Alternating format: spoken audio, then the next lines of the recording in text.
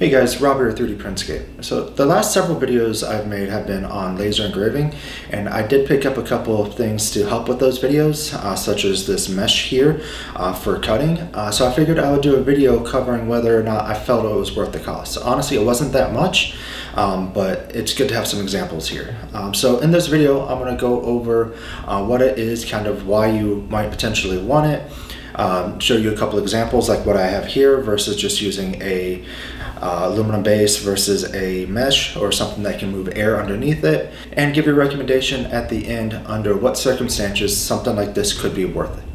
Uh, so if you have any questions about what I'm covering or like to see any other videos, uh, go and leave a comment below or join us on Discord. And if you haven't already, make sure you hit that like button and subscribe. Oh, another thing I wanted to mention really quick, uh, we made some changes on Discord where we started to introduce forums just to organize things a bit more.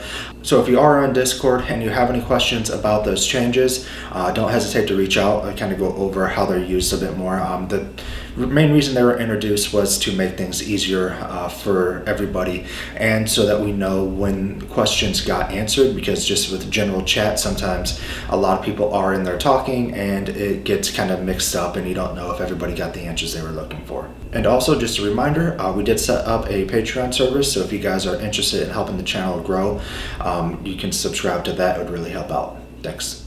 All right, so first I wanted to talk about what these two components here are. If you're doing any type of laser work, I strongly recommend having some sort of base like this aluminum base here uh, because even if you do an engraving where you don't expect it to actually cut through, uh, accidents do happen or you don't you misalign it or something moves.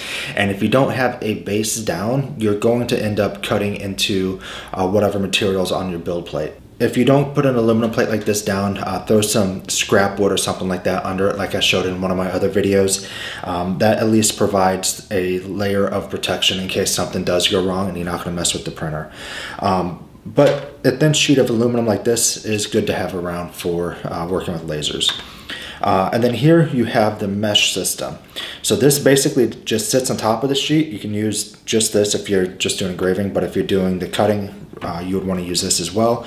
And what it does is it allows air to get uh, in around all the parts when the laser is working uh, so that it's not burning the bottom as you're cutting through, which I'll show you in some examples here coming up. Um, what it does is it gives you a much crisp or cleaner cut uh, versus just using the straight bottom. And in some cases, it made cutting through the material possible uh, where it wasn't without using the mesh. So really, it's going to come down to a lot of the material you're using, what you're trying to do, etc. Um, but this setup isn't expensive. Uh, there's a bunch of different options on Amazon. I can link to the one that I bought here. Um, uh, there isn't one that fits the exact size of the Ender 3 bed. So I, this is, uh, what is, I think it's um, 200 by 300. Uh, so it does stick out the front a little bit. Um, but it still works. All right, so let me show you a couple examples. So this first example here is pretty much a cork board or a thick cardstock and there really wasn't much of a difference between using just the aluminum base and the mesh. You can see on this one here, this was the aluminum base. There was a little bit of burning here uh, where it keeps going back to for the start. Really, I think that has to do with how it was structured on the design. Uh, it's a little bit difficult, but I've noticed that burned area on several of the prints I did. Uh, but on this one, I did not have the issue. So materials like this, you're not going to notice much of a difference between using a mesh and not using a mesh. All right, so here I have a couple examples with using eighth inch basswood. Um, from the top, you don't really notice too much of a difference. These two here, I just did the aluminum bottom. Uh, this one here, I used the uh, mesh. Um, but yeah, from the top, you don't notice too much of a difference. And uh, it's also worth mentioning that a lot of these pieces just fell off just because the material is so thin. And when I moved it around, it just split. Um, but the big difference here is going to be on the bottom of these cuts. You can see on this one here, it's a lot cleaner. It's pretty much just more of the same material bottom or same color bottom. But when you go into these ones, it really just looks like it was burnt. Um, so if you care about what the bottom looks like when you're dealing with the wood, the mesh does help quite a bit. And here's the same example where it was burned as well. All right, and then you guys might have noticed these pieces in one of my other videos where I was talking about um, the laser wattages.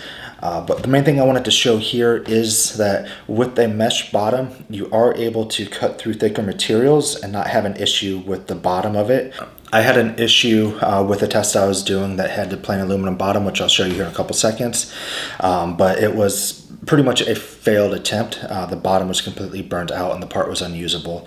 Uh, but these, uh, with the mesh bottom, I was able to get through a quarter inch oak and half inch oak without too much of an issue.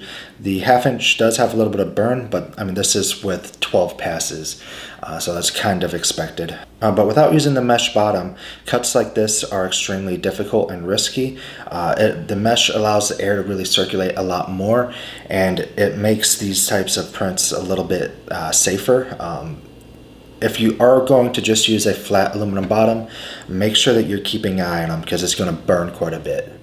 All right, so here's quarter inch oak where I used the mesh on the bottom. I didn't pop all these out because I wanted to show you the back to kind of use as an example. You can see on these pieces where it is a decently clean cut. Uh, you're going to have burn here regardless, uh, just from the laser. Um, but overall, the edges on the top and bottom are pretty clean. And on the bottom of this, it is pretty good, except for one little area here uh, where there was a starting point. So that can change based on the model you're using. Um, but across most of these on the bottom, you can see that it is pretty clean. Um, so if you are trying to cut through the quarter inch oak, uh, using the mesh is a good option. Again, it really just goes back to the materials you're using. Here's the same quarter inch oak uh, without using the mesh bottom, uh, using the same design, just a tad bit smaller on the scale. And you can see here that it kind of burned it out and the back side of this was just completely burnt.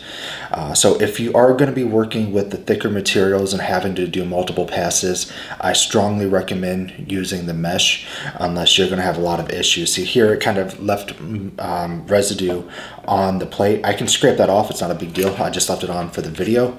Um, but yeah, this was a complete fail and it produced enough smoke to set off the smoke alarm. Make sure you're working in a well ventilated area and you're using a mesh if you're doing anything like this. Alright guys, so that covers the examples I wanted to show. As you can see, when dealing with wood or materials similar to that, uh, the mesh made a big difference because it's allowing air to get underneath it so it wasn't burning the bottom. Uh, some materials like this, um, thicker cardstock, uh, it didn't really make much of a difference. So I guess at the end of the day, it really comes down to what are you planning on doing with your laser? Are you focusing just on engraving?